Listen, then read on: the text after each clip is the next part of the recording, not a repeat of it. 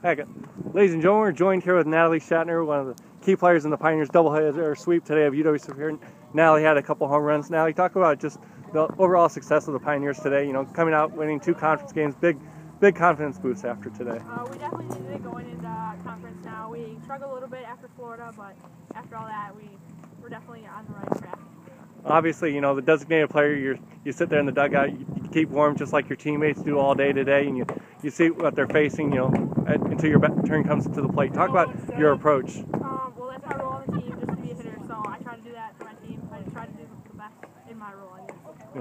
You know, Melissa pitched a very good, strong first game, and then you know Jenny and Brittany in the second game. You know, talk talk about how they're coming along as well. They're doing excellent for us. I mean, both of them are doing extremely well, uh, not giving up runs and stuff like that. So we couldn't ask for anything better, really. Yeah. You've worked hard, you know, this off season. You know, you you don't want to you wanted to have a good season this year. You know, talk about you know how that you see you know start to see the results of that hard work you put in this off season. Um, well, we definitely worked hard and stuff, and a lot's gonna keep coming. We've been working hard, and I don't know, just keep doing what we're doing. I guess.